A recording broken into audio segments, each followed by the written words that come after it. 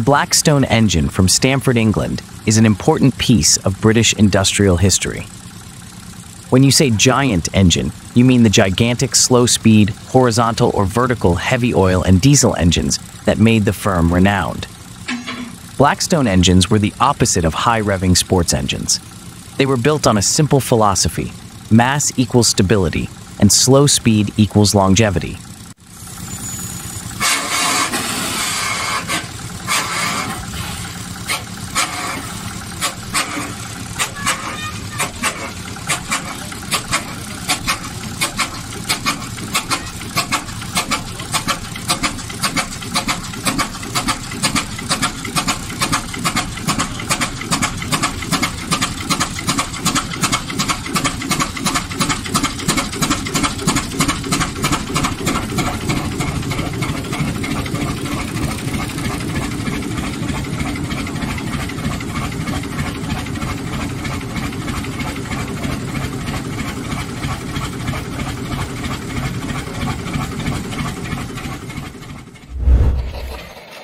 Lanz Bulldog PS45 is one of the most famous and unique tractors ever made.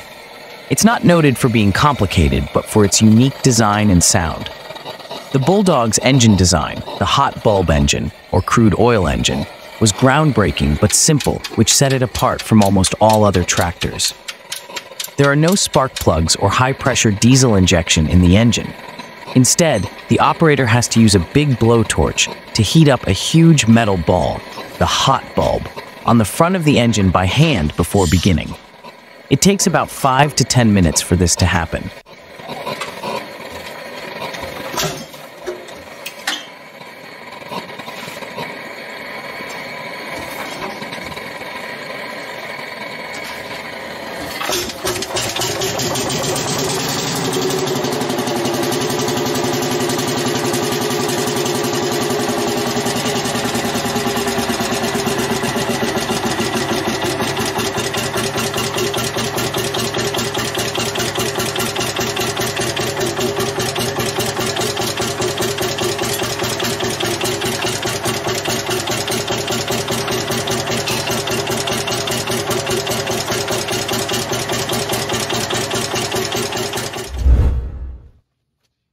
The Henderson Deluxe from 1928 isn't just a motorcycle. It's a legend. It's the best example of American four-cylinder motorcycle engineering from the 1920s. The 1928 Deluxe was not only smooth, but also quite fast.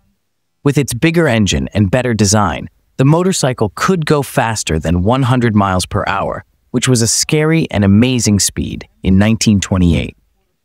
The 1928 Deluxe model is the last and best version of this range before the economy fell apart in the 1930s.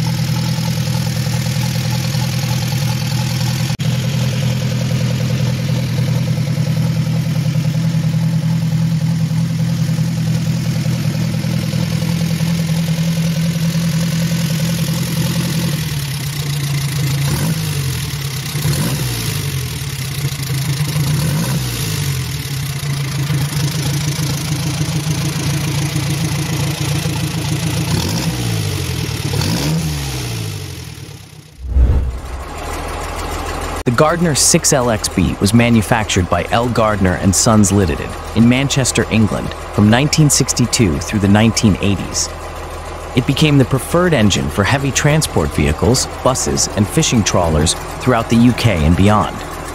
The 6LXB engine served as the core power unit for numerous Leyland, Bristol, and AEC buses, in addition to Foden and ERF vehicles. even decades after the company's cessation of production. The Gardner 6LXB continues to be highly esteemed within the preservation and classic transportation communities, appreciated for its mechanical robustness and its unique sound.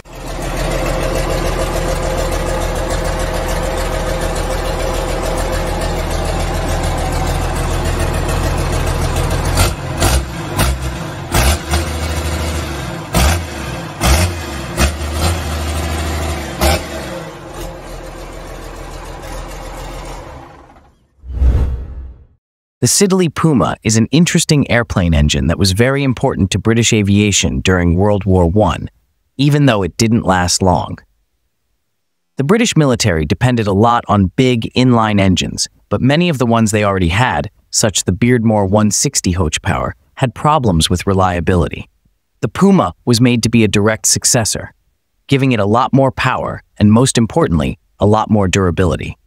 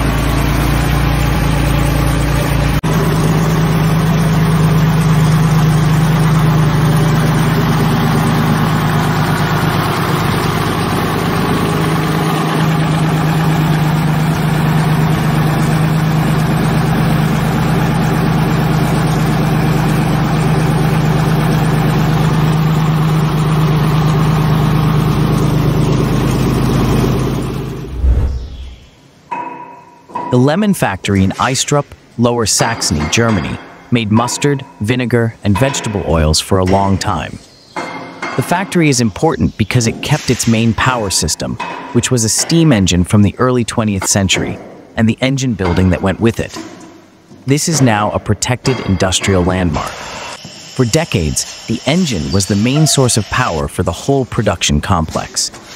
It powered the machines that made things, including the grinders for the mustard seeds, the presses for the oil, and the pumps for the vinegar.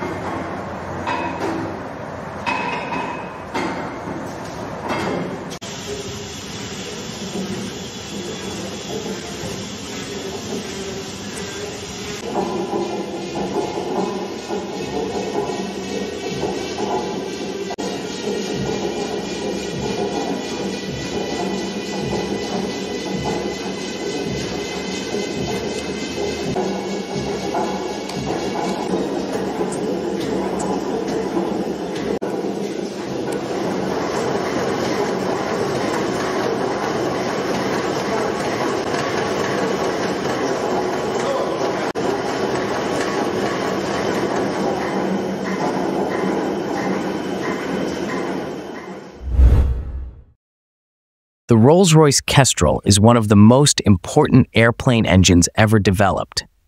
This is mostly because it was the engine that made Rolls-Royce the leader in high-performance aviation, which led to the famous Merlin engine.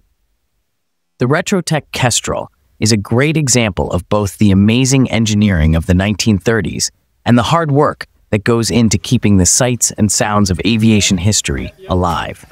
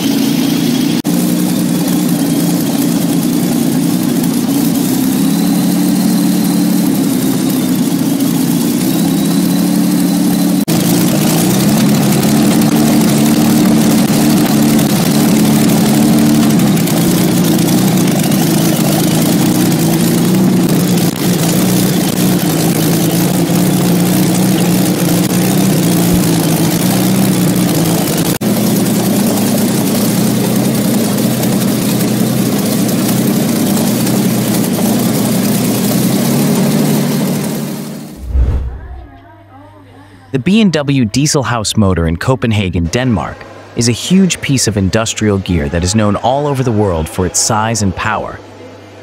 This is a B&W 884 VF150 stationary diesel engine, and it is considered one of the largest single diesel engines ever built to operate for electricity generation. The engine is so big that its pistons alone weigh more than 4 tons each. It is several floors tall and weighs more than 400 tons.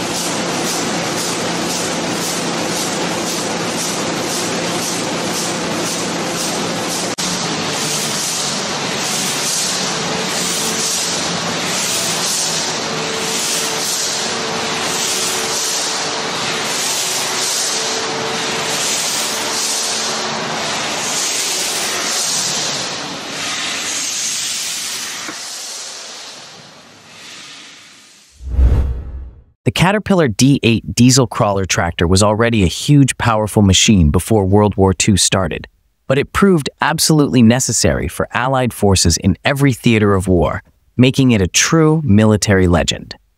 The D8 was known for being quite strong. Its massive steel frame and basic, powerful diesel engine could take a lot of punishment, and it typically worked in war zones with little upkeep.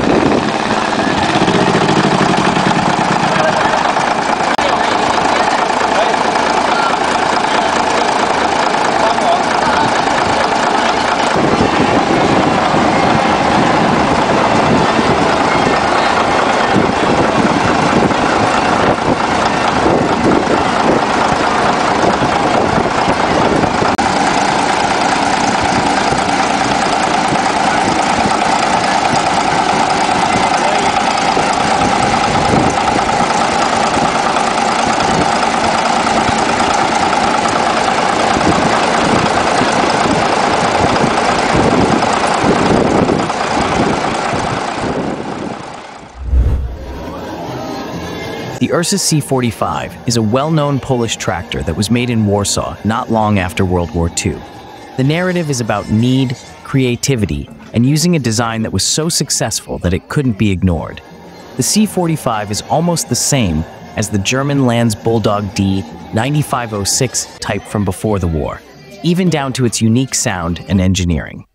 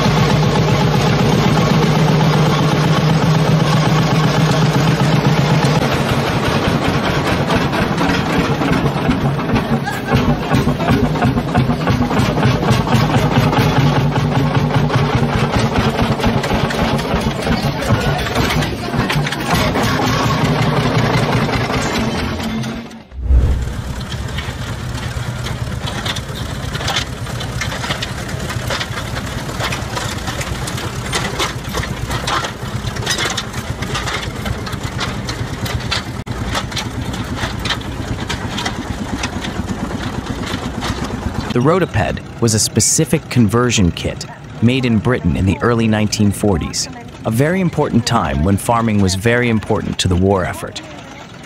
It wasn't a whole tractor, but it was a one of a kind way to solve a common farm problem getting traction in inclement weather.